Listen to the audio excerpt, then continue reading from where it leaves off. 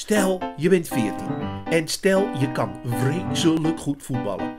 Stel, je vader heeft een hotel en een hartkwaal en hij moet naar het ziekenhuis. Stel dat jij nu dat hotel moet runnen. Stel, je hebt drie knettergekke zussen, geen knip voor de neus waard. En een smerige kok. En een dronken dichter aan de bar.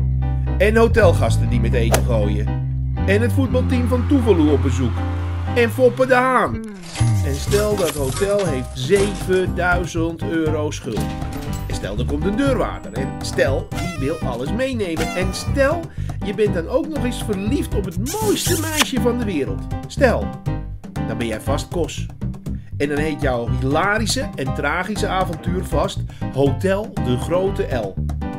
Naar het boek van Sjoerd Kuiper. Stel dat het allemaal waar is. Dan zien we je terug in het theater in seizoen 2015-2016. Met een script van Dick van Heuvel en met muziek van Jeroen Slijver. Een homemade productie van de makers van Afblijven en Spijt.